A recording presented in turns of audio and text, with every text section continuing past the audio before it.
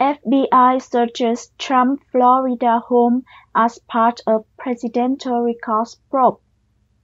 Former President Donald Trump says FBI agents raided his Mar-a-Lago estate on Monday and broke into his safe in what his sons acknowledged was part of an investigation into Trump's removal of official presidential records from the White House to his Florida resort.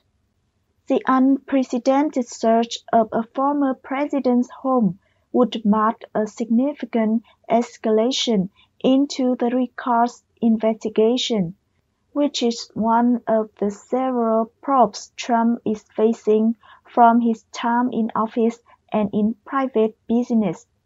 The U.S. Justice Department declined to comment on the search, with Trump in a statement called a raid and said involved a large group of FBI agents.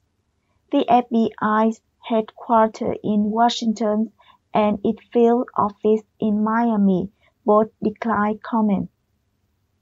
Eric Trump, one of the former president's adult child, told Fox News the search concerned boxes of documents that Trump brought with him from the White House, and that his father has been cooperating with the National Archives on the matter for months.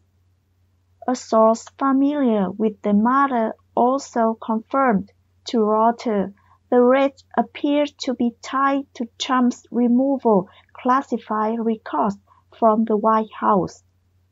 Trump says the estate is currently under siege, raid, and occupied. He did not say why the raid took place.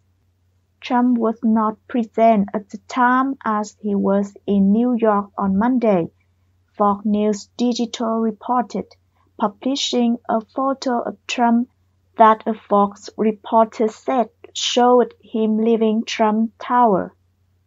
That's it for today. Thank you and see you in the next video.